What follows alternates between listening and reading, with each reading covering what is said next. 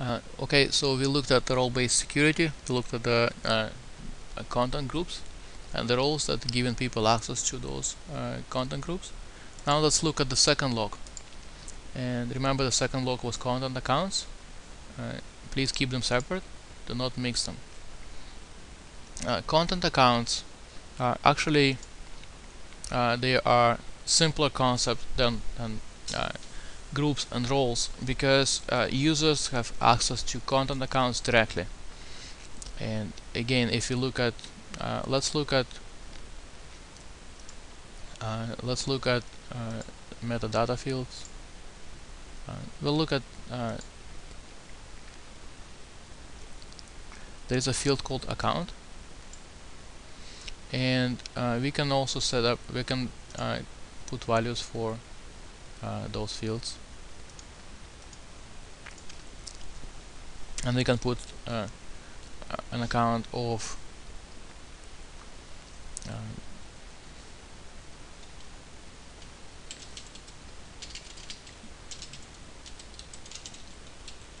manufacturing uh, slash internal. And if you notice I'm using the slash here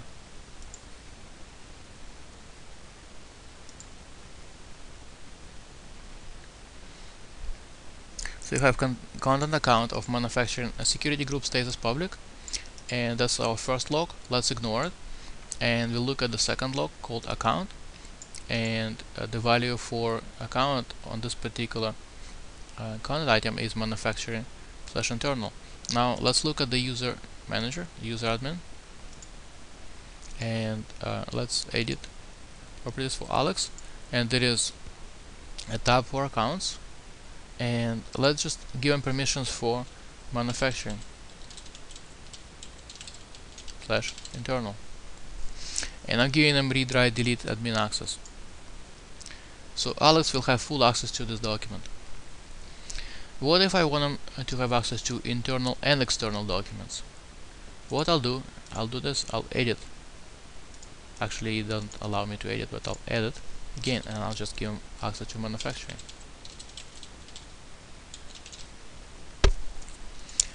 that's the only difference that's the biggest difference between uh, how the two locks are working.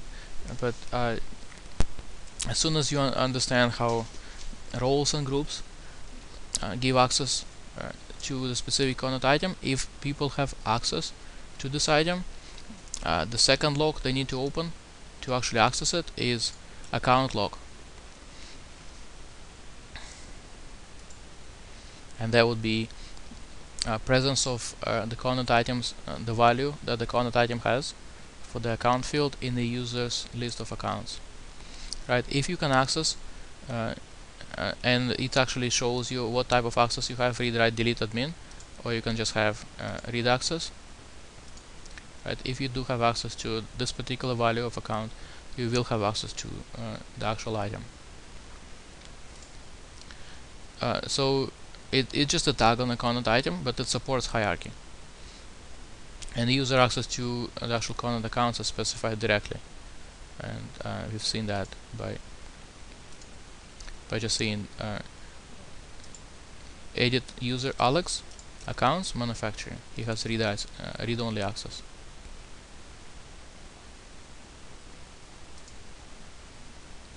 And it supports hierarchy as we've seen uh, in our case manufacturing give access to uh, manufacturing slash internal. Uh, if you give access to CA slash ON that will give them access to CA ON Montreal Toronto Ottawa. Just another example. And it doesn't have to be slashes it can be commas can be dots can be anything. So that's that's how simple content accounts are and uh, you can predefine the accounts. So they appear on the drop down box on the check-in form. Uh, if you keep them separate uh, it's very very simple. Uh, the first uh, roles and groups uh, getting it probably takes will take you a few minutes to understand. I hope you I hope you do understand now how user roles give access to the values of security groups. accounts are very simple uh, user have uh, accounts specified directly on the user record. And the only the only thing that is uh, separate about it and it's very powerful actually feature of accounts is that they support hierarchy. If I actually delete that and I give them access to M and I give them access uh, read-only access to M uh, that will give them access to to mar uh, and manufacturing manufacturing slash and manufacturing slash internal. It will also give them access to manufacturing slash secret because they have access to uh, the first portion of it which is M. Let's conclude our session on uh, content server security